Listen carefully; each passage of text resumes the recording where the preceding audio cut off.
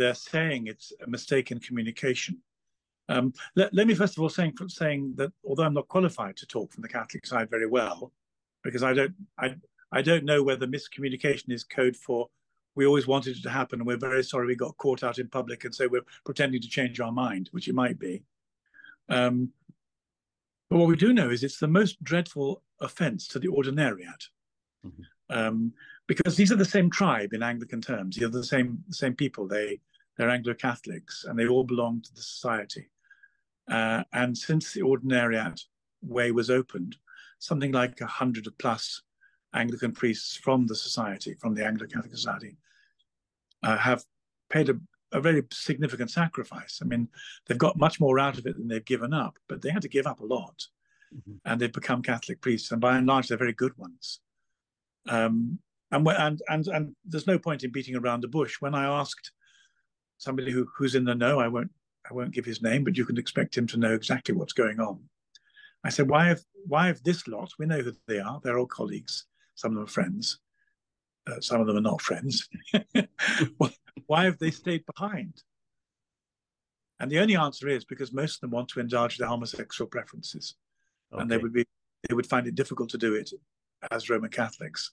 And that may surprise some people, but uh, and I'm sorry mm. to say, but um, but but the Anglo-Catholic movement, particularly in London, where Jonathan Baker is Bishop of Fulham, is notoriously full of of, of people who live out their gay preferences uh, and are proud of it, and have created a subculture.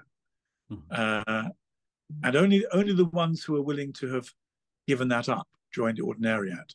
So there are two reasons for wanting to defend the ordinariate. The first is that these are people who want to be Catholic and became Catholic. They had the courage of their convictions and they paid the price. The second is the people who came across have high ethical standards and they live them out. And the people who, by and large, one shouldn't generalize and one shouldn't point the finger, and there would be exceptions. But by and large, the people who stayed behind belong to a culture where um, where, where where where gay proclivity was was one of the hallmarks of of the group. Um, and so, if you like, this this leads to a more charged situation because uh, so the good guys, from my point of view, and perhaps your point of view, and perhaps some of our listeners' point of view, are in the ordinariate. So now, when the bad guys, or the guys who won't pay the price or won't clean up their ethical behavior, when they approach Rome and say, "We're on a we're on a kind of a cross between a holiday and a pilgrimage, and we'd like we'd like to strut around in the most prestigious church we can find in order to strengthen our wholly misconceived opinions that we are Catholic priests and they're given a church. It causes a problem. Now, why are their opinions wholly misconceived?